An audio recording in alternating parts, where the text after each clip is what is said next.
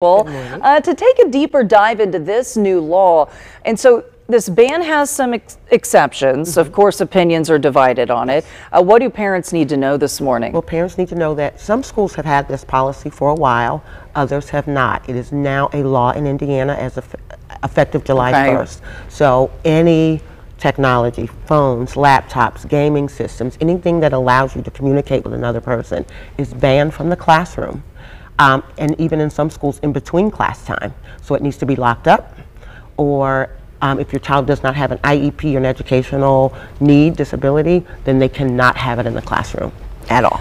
So you mentioned that some will be locked away. It depends on the school. So this real it, it's very individual. It is. So the, the law required that by July 1st, every school created a policy. Okay. And as I was sharing with you during the break, not mm-hmm. all schools had a policy. There are some schools where class, phones are free range. So now every school has to have a policy that says it cannot be in the school, in the classroom. Let's talk about the so the US Senate recently passed something with this as well. Why is that why is it such a big issue? Yeah, so the U.S. Senate bill was really around social media use and holding social media companies responsible because social media use in kids is at the core of so much school violence, um, school suicides, and bullying.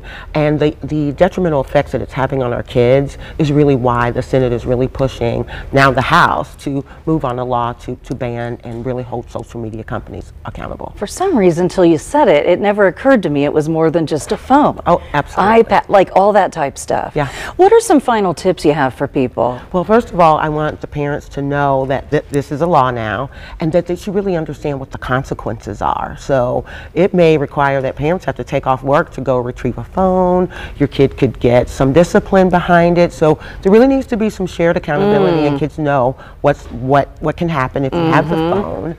Also, it's not a bad policy. Even try this at home. Let kids do their homework without the phone, do other tasks without the phone. Mm. Yeah. Encourage your student to do this without their mobile device at the ready. Sounds like something that's going to be tricky to have them do, but it's important. You know, these seven hours that kids are going to have in school without the phone are just scratching the surface. But um, our kids are really struggling because of cell phones and social media use, and it's not a bad thing at all. Thank you so much. Thank you. I had forgotten this was happening till I, you know, we talked about the subject for today, and it's going to be tough for a lot of people. It is, it is.